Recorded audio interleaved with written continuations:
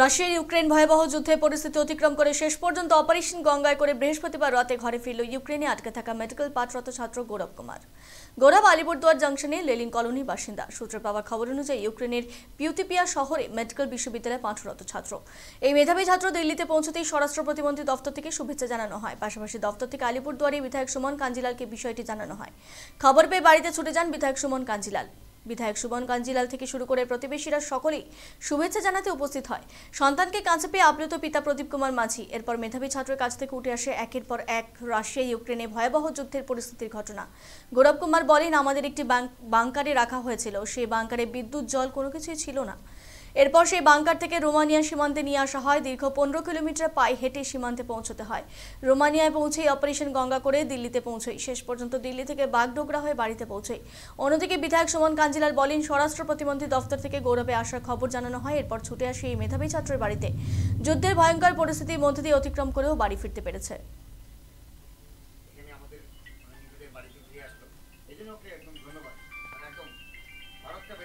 বাড়িতে ফিরে আসলো এই জন্য ওকে একদম ধন্যবাদ মানে একদম ভারতটা বেটা যাকে বলে। বাড়িতে ফিরে ছাত্র গৌরব কি জানাচ্ছে শুনবো माँ और बाप अम, पिताजी को देख के कैसा लग रहा है घर में बहुत अच्छा लग रहा है ये बहुत काफ़ी दिनों से परेशान थे और इन्हें मैं सारी सिचुएशन बताता था तो इन्होंने भी बहुत मुझे हिम्मत दिया है इन्होंने आज मम्मी पापा की वजह से मैं वापस आया हूँ और सरकार ने भी बहुत बहुत ज़्यादा मदद किया तो आज मैं फाइनली घर पर आ गया आज कौन कौन आया घर में आपको रिसीव करने के लिए एम एल सर आए हैं और मुझे वहाँ पे एडीएम सर ने भी गाड़ी भेजे थे सर ने और फिर मुझे एयरपोर्ट में भी इंडिगो ने भी मुझे वेलकम किया था वहाँ पे भी मुझे बहुत एयरपोर्ट पे अच्छा लगा था और दिल्ली एयरपोर्ट पे भी मुझे बहुत वेलकम किया गया था और फ़्लाइट में भी कैबिनेट मिनिस्टर से उन्होंने भी सर ने भी बहुत हमें वेलकम किया था।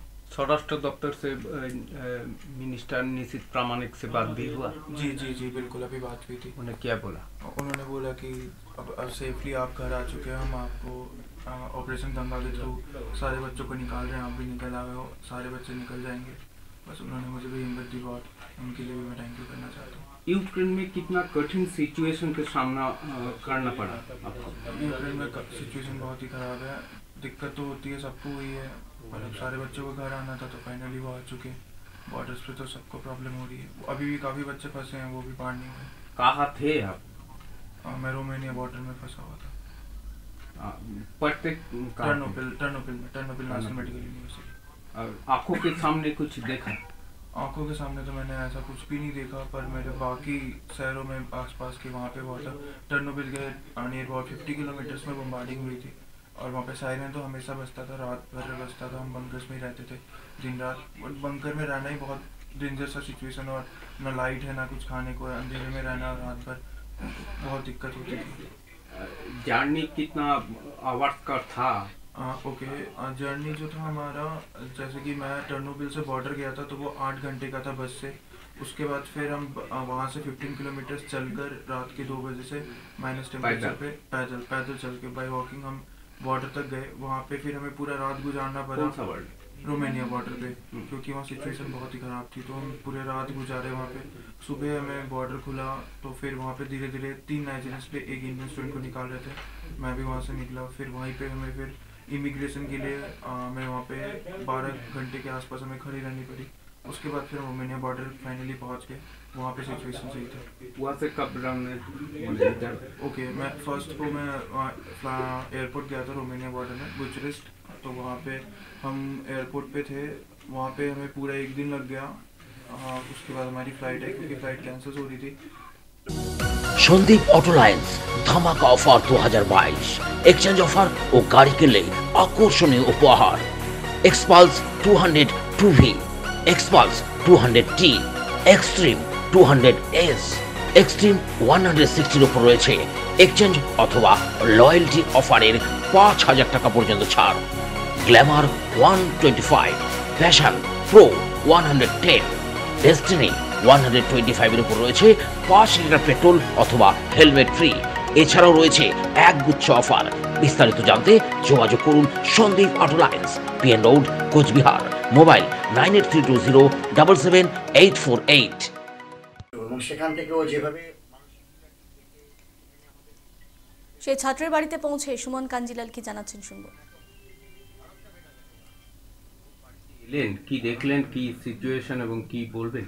আজকে অত্যন্ত আনন্দের একটা বিষয়, কারণ ঠিক দু ঘণ্টা আগেই আমাকে দিল্লির স্বরাষ্ট্র মন্ত্রক থেকে আমার কাছে একটা ফোন আসে কেন্দ্রীয় স্বরাষ্ট্র প্রতিমন্ত্রী নিশীত প্রামাণিকজির দপ্তর থেকে, যে আমাদের রোমানিয়া বর্ডার থেকে দিল্লি হয়ে বাগডোগরার পথে আলিপুরদুয়ারে ঢুকছে আমাদের আলিপুরদুয়ার জংশনের লেলিন কলোনির বাসিন্দা গৌরব কুমার ছাত্র। বাবার নাম প্রদীপ কুমার মাঞ্ঝি, তিনি রেলের উচ্চপদস্থ অফিসার এবং তাকে দিল্লি থেকে বাগডোগরা হয়ে সরাসরি জেলা প্রশাসনের মাধ্যমে এখানে নিয়ে আসা হচ্ছে।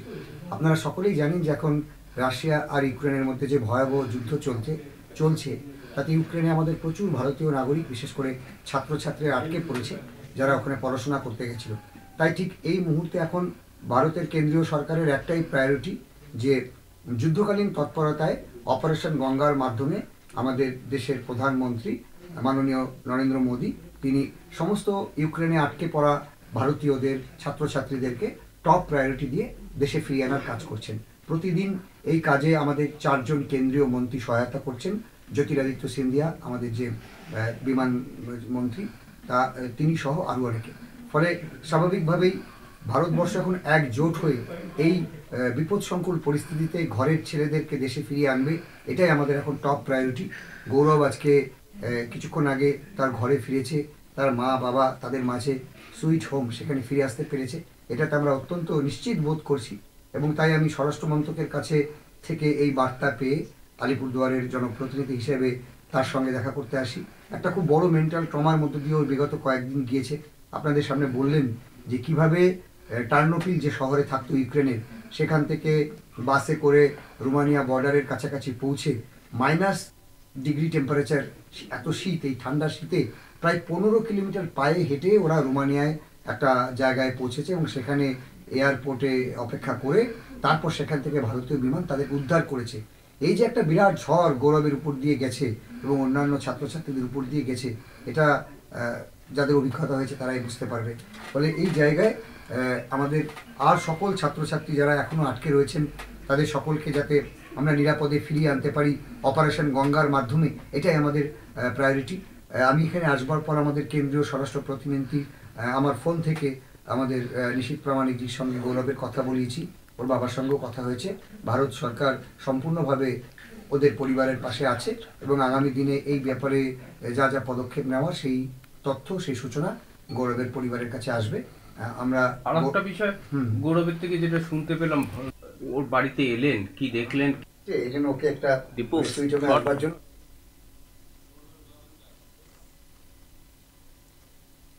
এই বিষয়ে গৌরবের পিতা কি জানাচ্ছেন শুনবো लड़का मेरा घर आ गया मुझे बहुत खुशी है और मैं भारत सरकार वेस्ट बंगाल सरकार और अलीपुर प्रशासन का आभारी हूँ और हमारे एडीएम सर ने यहाँ से जब मेरे बच्चे का खबर आया कि बागडोगरा आ गए हैं तो एडीएम सर खुद अपनी गाड़ी मेरे रेलवे क्वार्टर में भेजे और मेरी वाइफ और मेरे बच्चे गए, उनको रिसीव करके अभी लाए हैं जस्ट और अभी घर पहुँचे हैं। तो मुझे बहुत खुशी है कि बच्चा मेरा घर आ गया और मैं सबका बहुत बहुत आभारी हूँ। साथ ही साथ मैं रेलवे में चीफ ऑफ़िस सुपरिटेंडेंट के पद पर डीआरएम ऑफ़िस में कार्यरत हूँ। मैं ईश्वर से प्रार्थना करता हूँ कि और मेरे जो बच्चे सब वहाँ फंसे हुए हैं, वो भी खुद अच्छी ढंग से आ जाए तो इसके लिए बहुत ही खुशी की बात होगी। साथ ही साथ हमारे रेलवे के जितने भी मेरे सहकर्मी हैं सबका दुआ ईश्वर का दुआ मुझे काम आया और आज मेरा बच्चा मेरे घर में अभी जस्ट पहुँचा है। इसके लिए हम सबका धन्यवाद ज्ञापन करते हैं। आपके बेटा वहाँ पर था तो उस वक्त आपका मैंने स्थिति क्या सो था। जब मेरा बेटा वहाँ था, जब मैं देखता था वहाँ फायरिंग वगैरह हो रहा है, ये हो रहा है तो मैं बेटा को बताता था कि बेटा बंकर में रहो, ये रहो, बाहर मत निकलो। लेकिन इन्होंने और ईश्वर ने इसे बुद्धि दिया, ये लोग सब दोस्त लोग मिलके इन्होंने एक डिसीज़न लिया कि यहाँ रहना सेफ़ नहीं है और उस स्थिति में ये लोग बॉर्डर की तरफ़ भागे और इन्होंने 800 किलोमीटर का ये सफ़र बस के द्वारा तय किया और रोमानिया बॉर्डर पर आए। रोमानिया बॉर्डर पर भी काफ़ी स्थिति ख़राब थी। हम लोग रात भर सोते नहीं थे। वहाँ कुछ का जो स्थिति देखते थे कि बच्चे लोग जो है ना दो तीन हज़ार बच्चे रोमानिया बॉर्डर पर खड़े हैं और वहाँ पर एंट्री नहीं ले रहा है। तो हम लोग को बहुत रोना आता था कि किसी तरह मेरे बच्चे सेफ़ रहे। तो ईश्वर ईश्वर का सिर्फ़ नाम लेते थे और उसके बाद जब रोमानिया बॉर्डर में ये एंट्री हो गए तो बाद में जब एयरपोर्ट में आ गए, हालाँकि एयरपोर्ट में इन लोग को कुछ दिन वहाँ वेट करना पड़ा, क्योंकि बहुत सारे बच्चे थे। सबका टर्न बाई टर्न भारत सरकार ये कर रही थी और सब बच्चे समान होते हैं। तो इसलिए मैं बोला कि बेटा, तुम एयरपोर्ट में ही वेट करो। क्योंकि एयरपोर्ट की भी स्थिति काफ़ी अच्छी नहीं थी, बहुत बच्चे आ गए थे। तो बाद में भारत सरकार ने जैसा जैसा टर्न आया, क्योंकि एक एक ही बार सभी बच्चे को लाना मुश्किल था तो इनका भी टर्न आया। तो आज दिल्ली पहुँचे। दिल्ली के बाद में मुझे वेस्ट बंगाल सरकार का इतना अच्छा लगा कि क्विक उन्होंने बागडोगरा में आज दो बजे दिन में फ़्लाइट थी तो उसके बाद में उन्होंने तुरंत फ़्लाइट कर दिया। चार बजे बागडोगरा आ गए। उसके बाद एडीएम सर ने खुद अपनी गाड़ी मेरे घर पर भेजे और स्टाफ को भेजे। उसके बाद मेरे बच्चे को अभी मेरे घर पर पहुँचा दिए। ये मेरे लिए बहुत बड़ी खुशी है। मैं सबका धन्यवाद ज्ञापन करता हूँ।